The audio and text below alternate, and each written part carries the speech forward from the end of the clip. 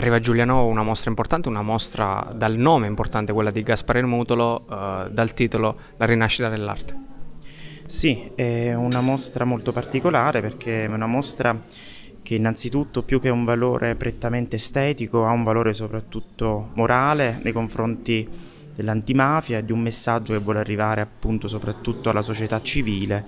come nell'arte, nella pratica dell'arte, possa nascere una riflessione su se stessi e un recupero della propria persona eh, nella società civile, appunto, nella contemporaneità. Gaspare Mutolo eh, oggi a Giulianova per la prima volta eh, in Abruzzo e bisogna ringraziare la Respire Art Gallery e i musei civici che io rappresento che ospitano questo pezzo importante di lotta alla mafia. L'arte, come anche il paesaggio italiano, a volte è come uno specchio per esaminare a fondo se stessi. E mm, nessun paese come l'Italia, eh,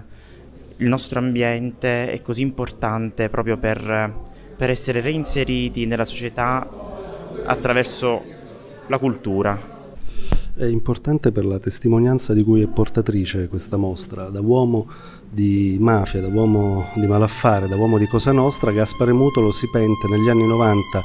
eh, con uh, un incontro con il giudice Falcone, poi diventa, entra in contatto con Paolo Borsellino e da quel momento comincia il suo percorso creativo che appunto segna emblematicamente la rinascita nella, nuova, nella sua nuova vita di pentito, di uomo libero e di artista e pittore.